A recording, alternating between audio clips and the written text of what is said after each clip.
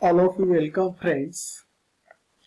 Now today's i'm going to discuss the topic chemical bonding and catalysis lecture number 2 basic science course code 22102 for the first year diploma program first semester i scheme Myself, Mr. M.N. Aher, lecturer in chemistry.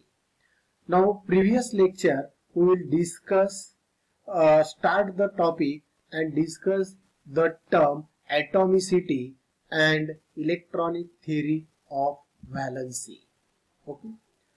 Now, the next, that is a chemical bond or formation of chemical bond. The basically the chemical bond is formed atom interact by losing, sharing or gaining of electron so as to acquire the inert configuration.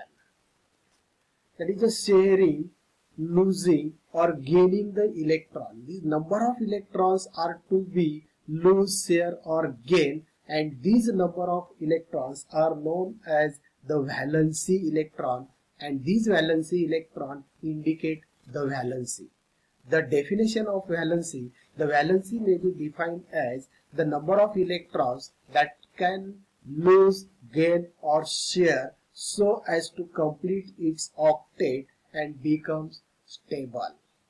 At the time of chemical bond formation or chemical combination that is a formation of chemical bond and these bonds are divided into the different uh, these bonds are to be classified in different categories. That is the types of chemical bond.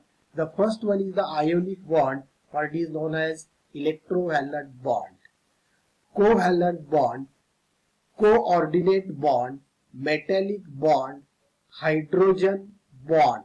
Hydrogen bond okay? The ionic bond or electrovalent bond is formed by transfer of electron that is a lose or gain of electron. Covalent bond is formed by mutual sharing of electron. Now coordinate bond is formed by one-sided sharing of electron and metallic bond is formed by delocalization of electron through the metal lattice. Hydrogen bond is formed by when hydrogen atom act as a bridge between two electronegative atoms. Now see the first type ionic bond or electrovalent bond. The electrovalent bond or ionic bond that is electrovalent compound or covalent electrovalent compound or ionic compound is formed by transfer of electron that is loss or gain of electron. Now an ionic bond is formed by the complete transfer of one or more electron from the outermost energy cell of one atom to outermost energy cell of another dissimilar atom so that both acquire the stable inert gas configuration. Now the atom lose the electron and acquire the positive charge and becomes positive ions that is known as cation and these types of electrovalency are known as positive electrovalency. For example, the sodium, sodium, its electronic configuration, atomic number is 11 and its electronic configuration is 281. Means its outermost orbit that is a 1 electron and this 1 electron it will be easily lost and form Na plus and stable electronic configuration that is 2 8 that is a loss of one electron and it becomes positive charge ion that is Na plus sodium ion. For example magnesium atomic number is 12 and its electronic configuration is 282 and outermost orbit that is 2 electron it will be lost and form Mg++ and its electronic configuration is 2a that is a stable electronic configuration of cation.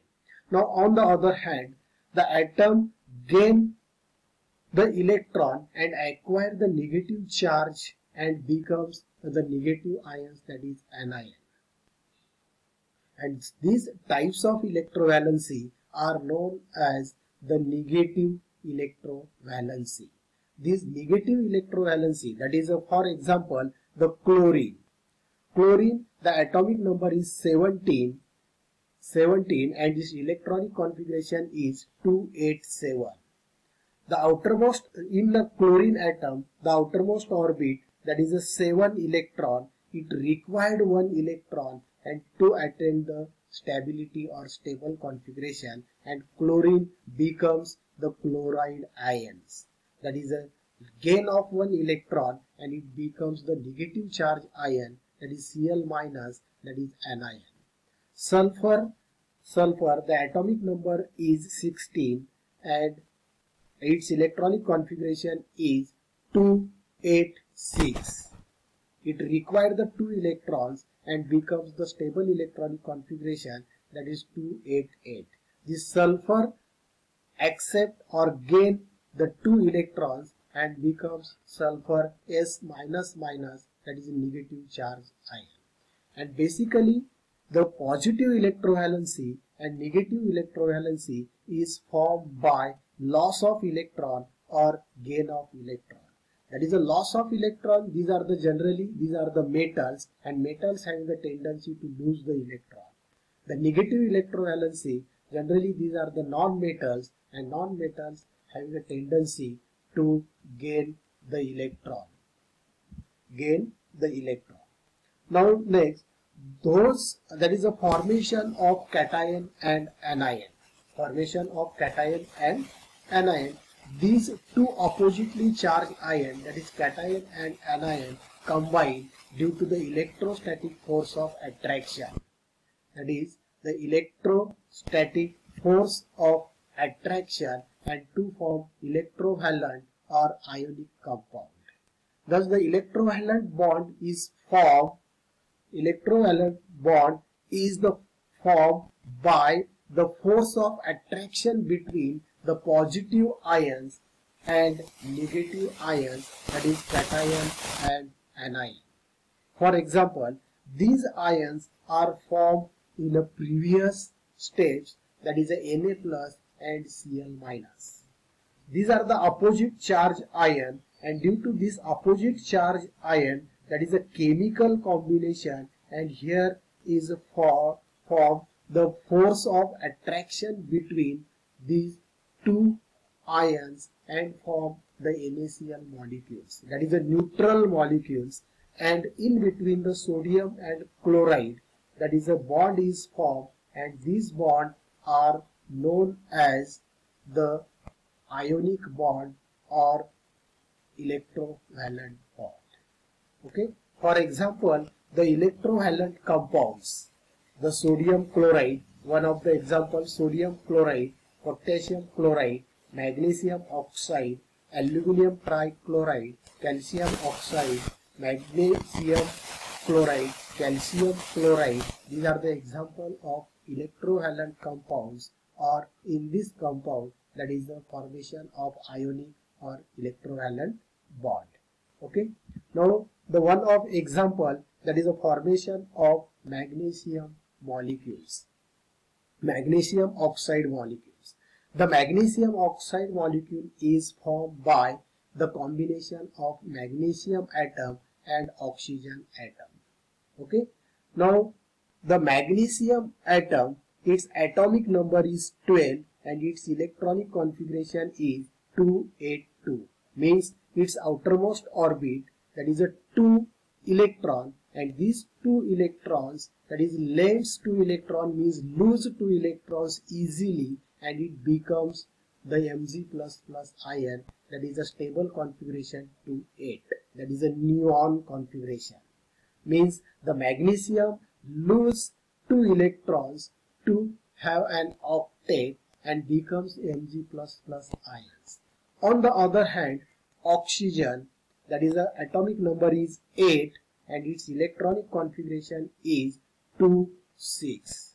Its outermost orbit that is a 6 valency electron and it complete the octet it required the 2 electron required two electron.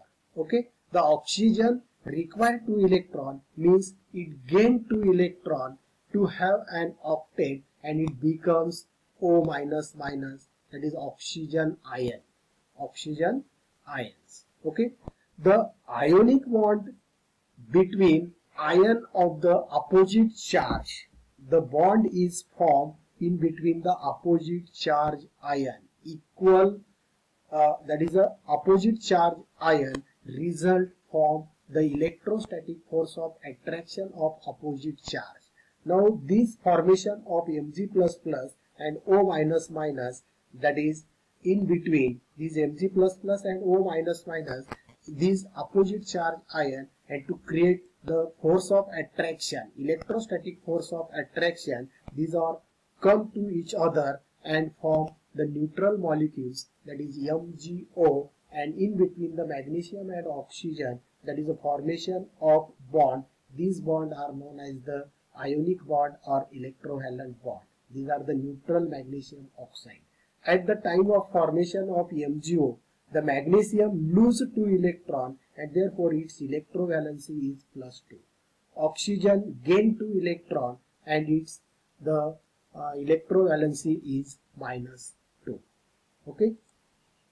Now the properties of ionic bond or electrovalent bond or properties of ionic compound or electrovalent compound.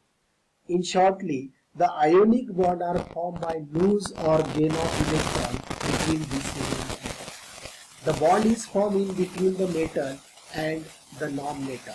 That is basically metal and non-metal. Ionic bonds are non-directional and extend in all directions. That is a three-dimensional structure. Ionic compound having a higher melting point and boiling point. Ionic compound are more soluble in water and insoluble in organic solvent.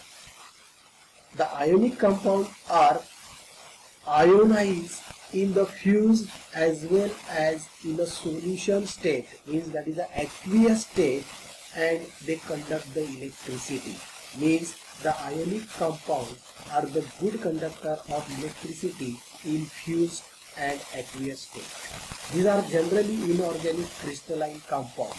Inorganic crystalline compound, their binding energy is very strong. That is a binding energy means bond is a strong due to the uh, attraction of electrostatic force and they give ionic reaction. Basically these compounds gives the ionic reaction. Okay, thank you students.